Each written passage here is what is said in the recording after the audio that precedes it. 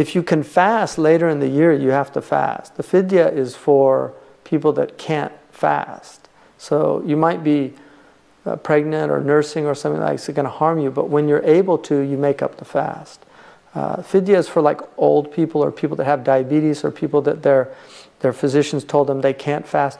I know of somebody who was, went into pretty serious um, tachycardia because of fasting. That type person, and, and it's, it's happened in more than one Ramadan, that person should not fast.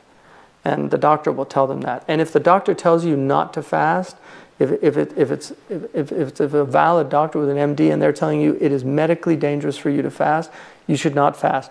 The other thing, and, and this is my firm conviction, little children should not fast.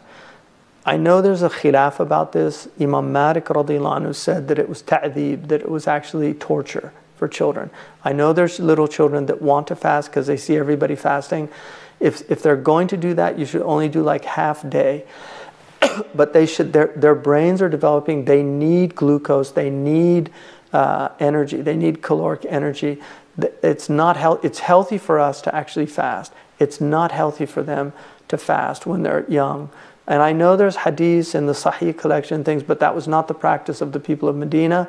Um, and Malik had 600 uh, teachers from the Tabi'een, and that was his opinion. It's a strong opinion, and I think, as somebody who studied um, uh, who has some medical background. Uh, and I think if you ask most doctors, they would tell you the science is in, and it's not good for children to fast long periods of time.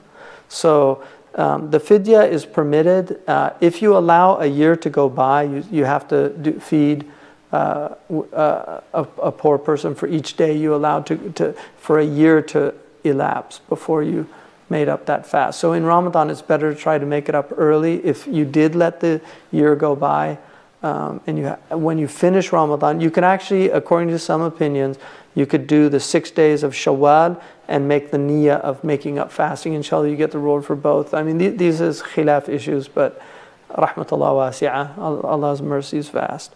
So.